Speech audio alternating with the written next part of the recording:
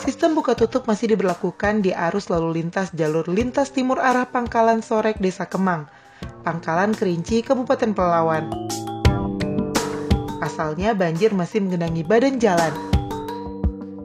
Kendaraan minibus juga belum diperbolehkan melintas.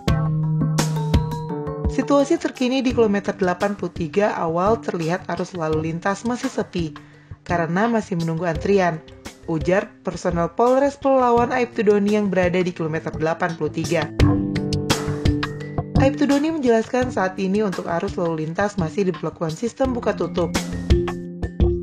Mobil saat ini bergerak dari arah Pangkalan Kerinci, Pangkalan Kuras. Tetap berhati-hati dalam berkendara dan patuhi rambu-rambu petugas yang ada di lokasi banjir pungkasnya. Sementara itu, Kepala Badan Nasional Penanganan Bencana RI, Majid Suharyanto saat meninjau banjir di Pelawan menyebut ada 10 kabupaten atau kota di Riau yang terdampak bencana banjir. Menurutnya, air yang menggenangi hingga ke badan jalan bukan hanya berasal dari luapan sungai, melainkan kiriman dari provinsi tetangga Sumatera Barat.